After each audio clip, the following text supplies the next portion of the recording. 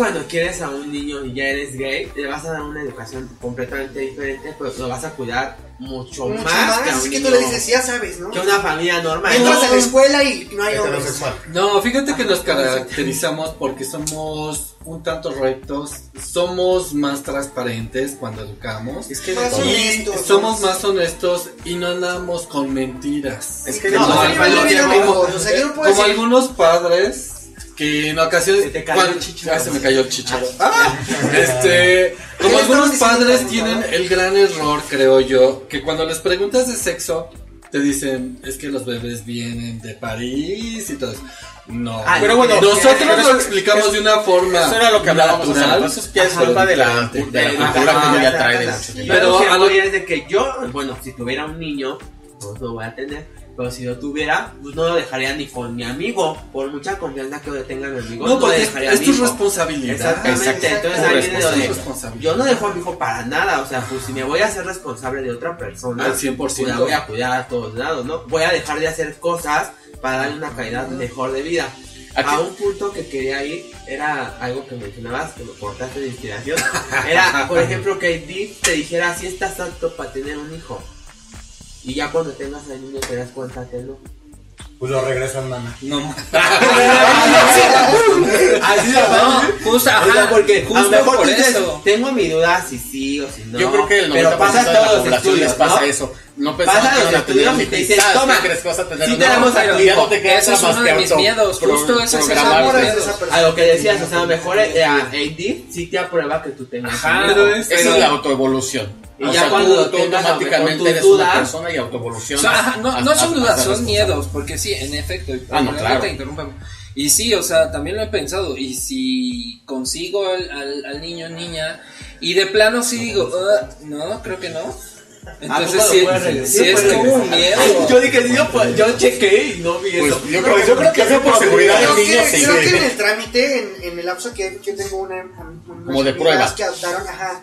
O sea, es, es, la adopción no es definitiva, están un tiempo contigo. Y vas a unas que pláticas y cómo se prueba. acoplan y van Digo, exactamente hay como a terapia y todo, más que nada por la convivencia, porque es lo que digo, o sea, mi, ah, así las conoce Clarito y la...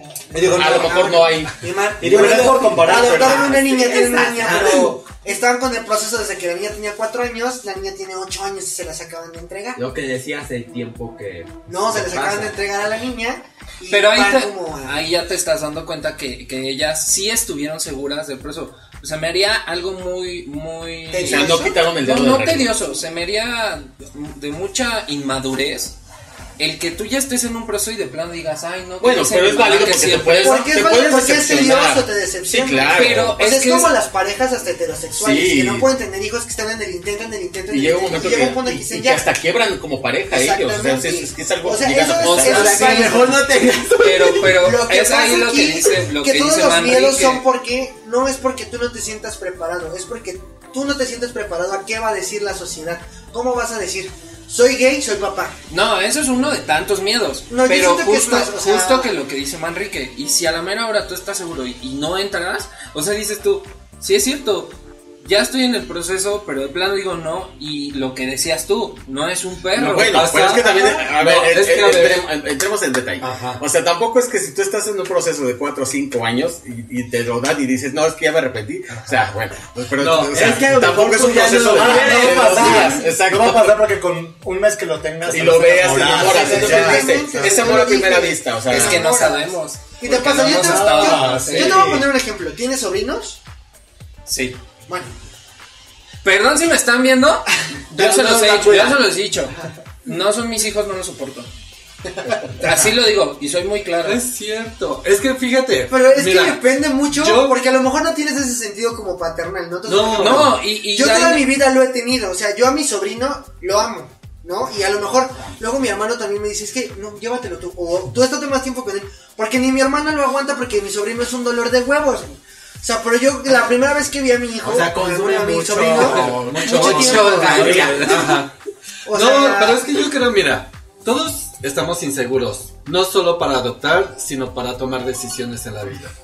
Yo creo que hay que ser conscientes. Si está, si vas a adoptar en pareja, platicarlo muy, Muy seriamente y fríamente. Tomar una decisión muy Sí, clara. tener un hijo es que vas a estar al 100% con él. Vas a sacrificar todo y lo vas a dar. Por gusto, no por obligación. Oigan, debemos de ser conscientes de que vas a dejar de ir al antro, al bar, echar la chela, muchas cosas. ¿Por qué? Vamos, va- ajá, vamos a, perdón que te Ay, interrumpa. Es que alguien. tenemos invitados que ya desde hace rato ya tienen Ah, este sí, veras. Tenemos a nuestro amigo Gustavo Figueroa. Gustavo, muchas gracias por estar aquí este día con este tema que está buenísimo. Eh, él nos dice que el proceso de adopción incluye una exploración psicológica, económica y en todos los ámbitos para poder ser candidato apto y te den un niño. No es nada más así de que quiero tener un hijo y te lo dan, sí, exacto, ya lo habíamos comentado hace ratito. Dice él que se entiende el punto al que se pueda dañar a un menor, pero nosotros tenemos la responsabilidad de formar, educar y brindar ese apoyo y seguridad a un niño. Si nos detenemos siempre por la sociedad, en ningún momento vamos a avanzar. Es, es correcto, o sea, lo que nosotros eh, mencionamos es, es, es, eh, lo que tú dices. O sea, realmente la sociedad no impone, eh, es lo que tratamos nosotros de hacer. Que la sociedad no imponga un patrón, no ponga un, estereotipo de familia, porque familias hay diversas. Familias hay, como tú bien lo decías, no solamente hay familias de sangre, sino hay familias que tú escoges, que tú eliges porque son amigos que están contigo. Y eh, igual tu pareja es tu familia, tu- ya, ya, ya es tu esposo. Pero igual a los que gustan o desean tener una familia, eh, no puedo decir más completa, porque muchas veces hasta de dos personas estás completo, pero gente que a lo mejor no está completa para ellos, que necesitan un hijo para completar el círculo, bueno, pues es cuando llegan y adoptan a, a- a- a un, a un ser, ¿no? Mira, Oye, acá- hay que saludar. Acá tenemos a, a los de Facebook Live, hola a todos. tenemos un comentario de Hitomi Tendo que dice, yo recomiendo la adopción a las parejas, no solo homoparentales, sino a todos. Hay muchos niños en casa de cuna o centros que les encantaría tener una familia. El prejuicio de las sociedades sobre si una pareja de homosexuales pueden criar un niño eh, normal, no, eh, aún permea nuestras relaciones interpersonales, la cultura, la educación y la capacidad para formar a una persona libre de prejuicios nada tiene que ver con la identidad genérica de la sociedad adquirida. Es muy cierto. Sí. O sea, al final de... Ay, de- mana, te una carta. Le faltó un pedazo. Lo que pasa es lo que nos Postdata. saben. Postdata, Final, es mi solicitud de la adopción. No, es que yo creo que relacionado a- al- al comentario de este Hitomi, ¿Hitomi? Hiromi, ¿no? Hitomi. Ah, Hitomi. Ajá, estoy perfecto, pero, pero más, o sea, está bien, no, no se trata de género, de identidad, de sexo, se trata de que vivimos en México, ¿no? Y, y no se trata de mí, de ti, de ti, se trata de él, de ella, ¿no? Eh, hay que ver las consecuencias que va a traer, que va a tener el traer a un niño al mundo, no, ¿verdad? Pero pues sí adoptarlo, porque no es fácil. Cuando tú adoptas a un niño, lo, lo, lo, lo introduces en, en, tu, en, tu, for- en tu forma de ser y en tu vida. Me ¿Tú, qué, qué, qué limitantes has, ten- has- has tenido que tener hacia tu hija? O sea, ¿qué has dejado de hacer que tú digas, yo de verdad a lo mejor pues ya no me deschongo tanto o ya no me desmecato Pues tanto o algo antes así? estaba de fiesta de martes a domingo. Pero en cuestión de actitud, que tú digas, híjole, o sea, a lo mejor esto lo dejo de hacer porque no... Es que sigo siendo yo, o sea, a final de cuentas, eso no me cambia. ¿Por qué? Porque me va a amar tal y como soy, o sea, es, diría Stitch Ohana, ¿no? O sea, pero... Tú con tus amistades igual sigues Sí, siendo o el sea, yo, o sea, yo sigo siendo el, el mismo, o sea, yo no he cambiado para nada, ni voy a cambiar, ni cambiaré. Pero por ejemplo, al punto que va, si tienes una fiesta, normal, una reunión gay, ¿no? A donde tú estás acostumbrado a ir, sabes que Sí, se pero- ella se pone borracha. Obviamente, no, no, no, no no, la no, llevas. sí. Era lo que lo que va, platicábamos. mira, Era ¿qué lo que platicábamos. pones? No, película si cambias. No, era lo que platicábamos hace rato él y yo. ¿no? Al final de Que le cuentas, digo, sí yo a ti cambia no te veo de ciertos papá, hábitos ¿no? en su digo, vida. Te veo ya con el Moisés, güey, dejándolo en paquetería del antro, güey, o sea, no. O, O, sea, o a simplemente los vas- ocho años así de pa- pasando al Oxxo por el chupe para ver No, o sea, fiesta. obvio no, o sea... O sea, es que No. vamos. Obvio no llevas, no, pues no son limitantes, porque yo creo que nadie lleva a sus hijos a ese tipo de... No, no. O sea, se No, hay, hay heterosexuales que sí Que hacen sí los recibos de las fiestas. Bueno. Yo bueno, a ver Pero, que hasta fumaban en su cara del bebé. Es porque es gente que no deja. Ah, que no es consciente. No, o sea, que eso no es Ese sí es gente que a lo mejor dice, yo Pues no dejo yo de hacer las cosas. Ay, Pero de muñecas. Espérame la carriola. Dame la carriola, te pongo unos chicles, unas paletas y ahí las vendes, ¿no?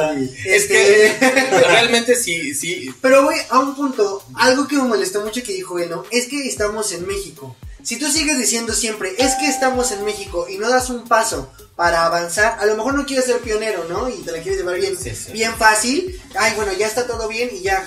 O sea, yo te puedo decir que la sociedad tarde o temprano van a tardar aceptando todo. Y alguien tiene que empezar. Cuando yo iba a la primaria, yo toda mi educación ha sido católica, o sea, era así como que, puta, ¿no? O sea, los padrestos de las monjas me hacían menos porque yo era de una familia de padres divorciados y nada más vivía con mi mamá y con mis abuelas. Y eso no era una familia bien vista para ellos.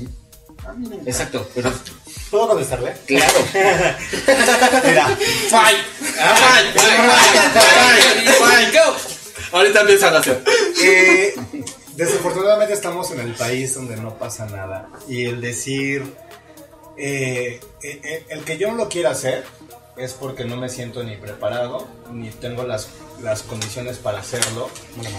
Pero fíjate que estamos teniendo nuestro granito de arena de aquí para allá, ¿eh? O sea, esto que estamos haciendo, creo que es muchísima información para muchísima gente que no Claro. Y que lo está ahorita razonando. Exacto, Ah, y no quiere decir que no estemos haciendo nada, porque seguramente al ratito me voy a encontrar un pinche homófobo allá de no mames, te vi en FaceTime y estás a favor y me rompe mi madre, ¿no? Digo, porque estamos todos.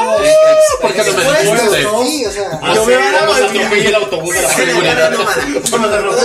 no, a necesariamente necesito adoptar o tener un hijo para contribuir a la causa. Ah, no. O sea, porque yo estoy a favor. Al final de todo esto, ojo, piensen, nosotros, si quisiéramos adoptar, seríamos un factor de ayuda para todos esos hijos que están ahí en esas casas hogar que son de heterosexuales que fueron a, votar ahí. O sea, nosotros no estamos pidiendo ni estamos. eh, tratamos de, ser- ayudar y, introducirnos a la sociedad normalmente como todo todo todo oh, círculo o todo vínculo eh, social humano pero al final del día la causa de todos esos niños en casas de cuna no es de nosotros No. O sea, pero no, yo lo que me refería fue a la frase de estamos en México. Pero es que es Estamos una en México. realidad. No estamos, si quieres hacer un no cambio, estamos en vas a hacer un el cambio. no estamos en Europa. Sí, no, estamos en México. estamos en Allá, allá. México. pero, pero parte de lo que él dice yo lo entiendo que dice sea, sí señor. o sea sí pero alguien puede empezar a, a, a Pues arena. pero no- yo mientras- puede dar el paso. Yo lo veo Mientras me voy a Holanda y me avisan cuando ya esté todo bien aquí. ¿Va? ¿Y qué creen? Dice Gustavo Figueroa que él está muy a favor del padre de familia. Este, ¿La serie? La serie. por- No, la cuestión aquí es que, bueno, él, él explica su, su, su postura porque realmente Ajá. él ya tiene una experiencia y él vive una experiencia que a lo mejor todos de nosotros no, la, no lo hemos No hecho. hemos hecho. ¿no? Amigo, pero es bien diferente la experiencia a que tu hijo sea procreado biológicamente, Sí, claro. a que adoptes a un niño. Sí, o sea, la Totalmente experiencia diferente. es Cambia. Aquí y acá. Porque- amor es amor, adopten Ah, en verdad. claro. La verdad, la mayoría de los delincuentes que ven en la calle y de los indigentes que ven son los niños que salen después ya de ahí a los 18 ya no los dejan estar en las casas Que de nunca- cuna nunca- y- nunca formaron parte de la sociedad. Exactamente. Nunca se, se introdujeron. a- a Adop- la seas sociedad. hombre, mujer, marciano lo que sea. Chicos, producción me dice que necesito sus opiniones en particular de cada uno. Ya estamos en tiempo. Ay, sí, Tenemos 5 cortemos. segundos. A ver. Cinco segundos para Vamos, cada Que el uno. tiempo al aire sale Va- muy va- caro. vamos, vamos a, a cerrar con, con, este eh, vamos a tener una segunda parte porque el tema está muy bueno pero vamos a cerrar con la eh, pues con la conclusión tu punto de vista Manuel.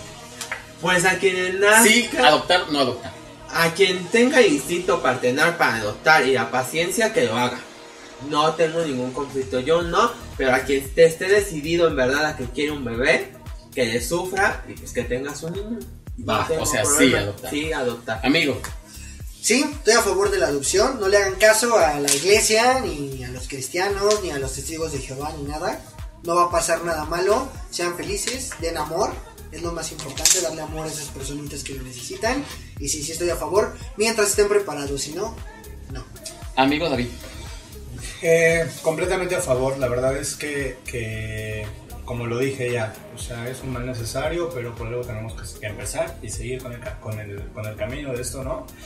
Y nadie nace sabiendo ser padre, entonces Nadie la, vamos nace a sabiendo nada. la vamos a cagar, pero pues, adoptamos ya el segundo y no la cagamos tanto. Camu Pues igual, yo estoy a favor.